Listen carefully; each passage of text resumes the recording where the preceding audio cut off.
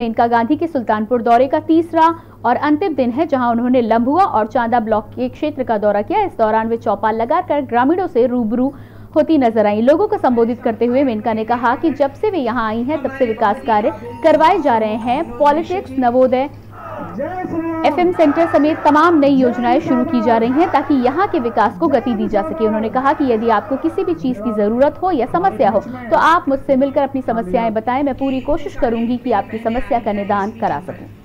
ये इलेक्शन जो मेरा हुआ था, इस इलेक्शन में निषादों की ही वजह से मैं यहाँ विजय जी, इतनी सारी मेरी बहनें आई हैं इस मीटिंग पर। ये इलेक्शन जो मेरा हुआ था, इस इलेक्शन में निषादों की ही वजह से मैं यहाँ खड़ी हूँ। आप लोगों ने मेरा बहुत साथ दिया। आप जानते हैं, आप जानते हैं कि वरुण भैया जब यहाँ थे तो उन्होंने पूरे क्षेत्र को एक तरफ़ किया और निषादों के लिए अलग से किया। आपकी मंडी बनाई, आपके आपके लिए बहुत कुछ किया। अपने पैसों से ही घर घर बनाते गए।